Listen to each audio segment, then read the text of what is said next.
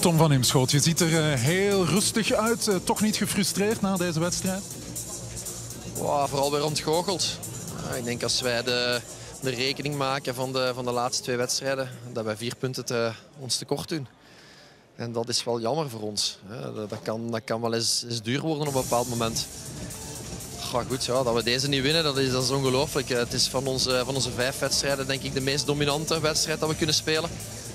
Um, goh, ja, van, van in het begin al, hè, die, die, die, drie, die drie rommelfase na, na hoekschop. Uh, daar had er al een van binnen gemogen. Ik denk dat we, als we wat overzicht houden, de eerste helft, dat we altijd moeten scoren. De tweede helft zijn we ook wel blijven gaan. Um, ja, goed, zo penaltyfase denk ik wel correct. Um, ja, goed, en dan proberen we ook nog wel, uh, nog wel iets bij te duwen. De jongens ook ingekomen zijn en wat schoen gebracht.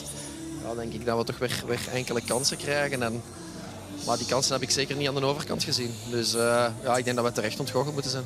Een gebrek aan scherpte uh, in de 16 van de tegenstander, dat is eigenlijk het enige wat je je ploeg kan verwijten. Hè? Ja, maar ik zeg altijd op voorhand. Wij moeten in alle facetten van, van het spelletje moeten wij 100% zijn. En vandaag waren misschien een x-aantal percentages te weinig in, uh, ja, in de aanvallende 16 vooral. Uh, ik denk dat we daar uh, de echte grinta om, om, om, om de bal tegen net te duwen ontbrak, vond ik net. Vooral de eerste helft. De tweede helft was al wel wat beter. Ehm, maar goed, ja, langs de andere kant, uh, ik denk dat iedereen hier wel met een supporters wel met een goed gevoel naar huis gaan wat betreft het geleverde spel.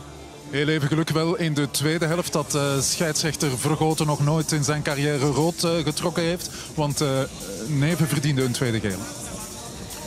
Well, Neven krijgt eigenlijk zijn eerste gele kaart om, om, om te reclameren. Terwijl ik denk dat de keeper van OHL, ja, dan misschien 10, 12 fases waar wij het gevoel hadden van oké, die, die wint wel heel veel tijd.